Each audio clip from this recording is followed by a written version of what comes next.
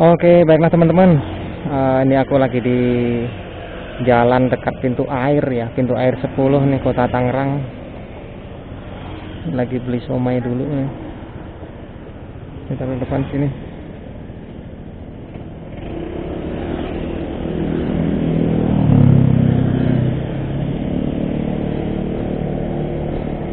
Oke teman-teman, bismillahirrahmanirrahim. Assalamualaikum warahmatullahi wabarakatuh. Welcome back to my channel Betuali Motor Vlog. Yuhu. Ke kanan nih Glasari Kalideres ah, Ini aku ambil kiri ya. Yang mau ke arah Sepatan. Oke teman-teman Gimana kabarnya teman-teman semua? Semoga dalam keadaan sehat selalu teman-teman ya sehat selalu menjalankan ibadah puasanya. Dan semoga full satu bulan penuh ya. Mendapatkan uh, pahala berkah dari Allah SWT amin ya robbal alamin. Nah ini sore ini nih jam berapa nih? Setengah lima sore teman-teman ya. Aku melintas ya melintas lagi nih di uh, kawasan Jalan Bayur nih kalau nggak salah ya namanya ya mau menuju ke arah Sepatan. Oke teman-teman, aku ngucapin terima kasih ya yang sudah selalu stay tune ya, standby di channel aku ya, memantau terus channel Wali Motovlog. Eh, semoga teman-teman semua eh, selalu diberikan kesehatan dan tentunya semakin berkah. Amin ya rabbal alamin. Oke dan tak lupa pula untuk yang baru menemukan channel aku ya baik sengaja maupun tidak sengaja gitu. Selamat bergabung di channel Wali Motorvlog ya semoga terhibur ya. E, channel yang menghadirkan perjalanan pribadi ya maupun perjalanan-perjalanan aku di mana pun ya. E, di mana pun bumi dipijak di situlah kamera ditenteng. Kamera dijinjing ya di mana bumi dipijak di situlah kamera ditenteng. Jadi selalu uh, mengabadikan momen teman-teman ya. Keseruan-keseruan di dalam suatu perjalanan teman-teman. Oke ini masih dalam edisi uh, bulan suci Ramadan ya teman-teman ya bulan suci Ramadan ini bulan eh, puasa yang ke berapa ya? Kalau nggak salah udah mendekati 15 hari ya. Mendekati 15 hari bulan suci Ramadan. Oke di kesempatan uh, nyoret ya reading kali ini waduh ini aku ngelawan arah matahari ya teman-teman ya. Jalan mengarah arah ke arah barat teman-teman. Mudah-mudahan ini kameranya nggak backlight ya teman-teman seperti biasa aku pakai settingan exposure min 2 nih teman-teman ya kalau di cuaca yang terang seperti ini nih. Apalagi ngelawan arah matahari.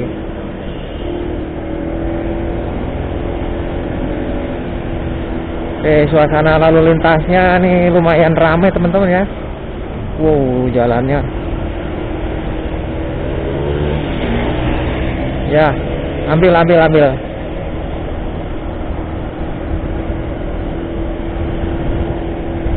Wih, di, waduh bahaya banget itu. Zigzag gitu. Eh, apa? Mendahuluinya langsung motong gitu ya. Seperti terkesan arogan teman-teman ya.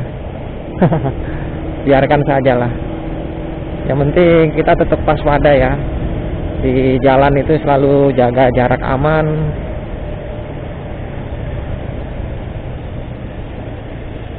Oke, ini aku ambil ke arah kanan.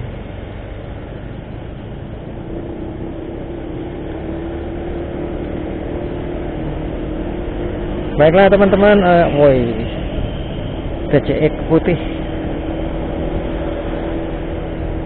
Oh, di kesempatan sore hari ini, uh, aku ingin sedikit berbagi teman-teman ya, berbagi informasi ya, berbagi informasi ya barangkali ya berguna dan ada dari sebagian teman-teman ada yang belum tahu gitu kan mengetahui ataupun sudah tahu ya ini sebagai pelengkap aja teman-teman ya.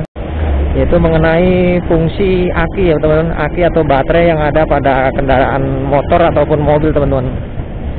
Aki atau baterai. Oke.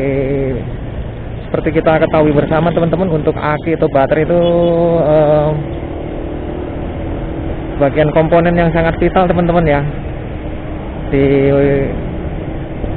sebuah unit kendaraan ya motor atau mobil ya. karena aki atau baterai ini menjadi alat penyuplai ya atau stabilizer untuk kelistrikan yang ada dalam kendaraan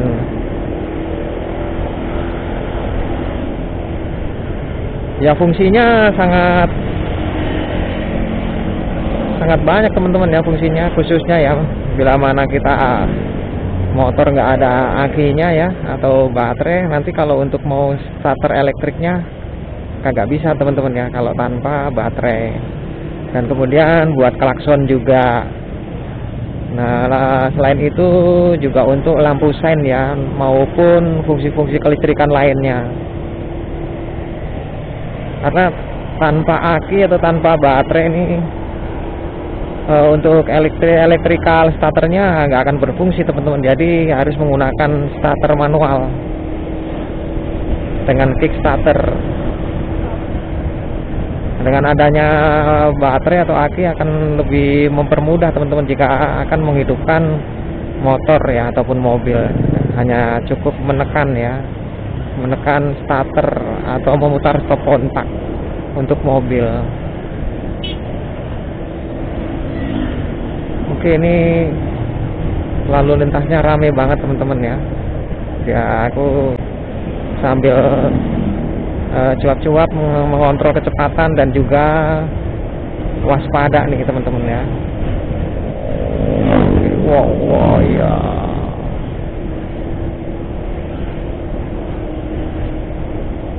wah jalannya banyak yang terbelah-belah nih jalannya nih. Ya meskipun eh, tanpa baterai atau aki motor bisa di on kan ya dapat dioperasionalkan gitu. Eh, mengandalkan spool ya mengandalkan spool ataupun kiprok ya. Namun kelistrikannya tidak akan stabil teman-teman bila mana tidak menggunakan baterai atau aki teman-teman ya kelistrikannya tidak akan stabil dan sempurna. Dan biasanya eh, kondisi kendaraan tidak akan sempurna gitu fungsinya. Bila mana tanpa adanya baterai maupun aki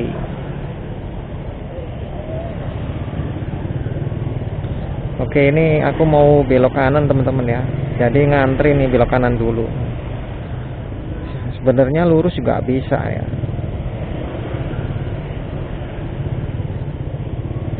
waduh ada kontainer gede banget lagi.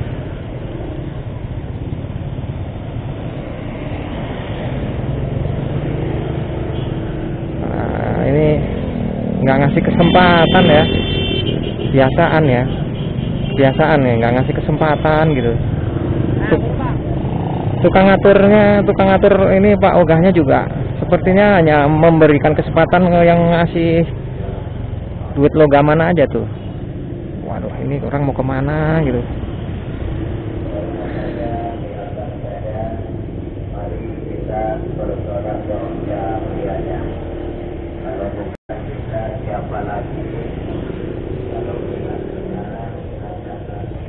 Tuh, kalau bukan kita siapa lagi? Kalau bukan sekarang kapan lagi? Ya, untuk apa? Berbuat amal ya.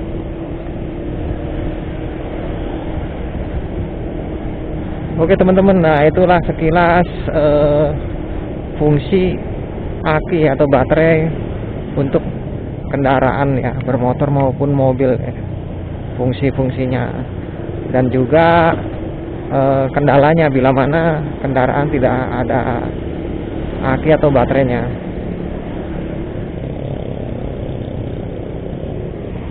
nah sedangkan untuk baterai itu baterai itu sendiri atau aki tergantung dari ininya voltase teman-teman ya. Harus disesuaikan dengan kebutuhan. Tidak boleh lebih dan tidak boleh kurang ya. Harus disesuaikan dengan kondisi uh, kendaraannya dan dengan berbagai jenis maupun tipenya teman-teman. Jadi nggak boleh sembarangan. Nah biasanya umur dari aki sendiri dari baterai ya. Aki atau baterai itu standarnya dua tahun teman-teman ya biasanya ya. Kalau kendaraan bermotor udah lebih dari empat atau lima tahun nah itu perlu waspada teman-teman. Perlu waspada untuk keperawatan baterai akinya. Ya harus sering-sering dikontrol dan dirawat ya. Beda dengan yang baru ya.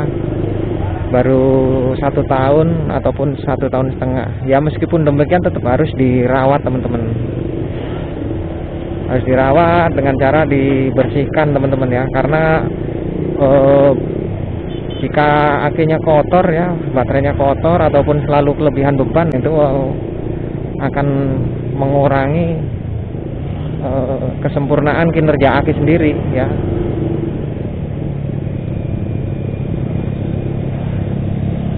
Oke rame banget nih teman-teman Nah itulah teman-teman ya fungsi baterai atau aki pada kendaraan bermotor. Semoga bermanfaat ya. Semoga bermanfaat dan sedikit menambah ya pengetahuan atau wawasan mengenai baterai atau aki yang ada pada sepeda motor kita ya.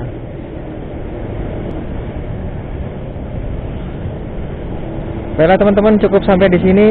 Uh, itulah fungsi ya fungsi dan kegunaan aki atau baterai pada kendaraan bermotor. Terima kasih. Wassalamualaikum warahmatullahi wabarakatuh. See you and bye bye.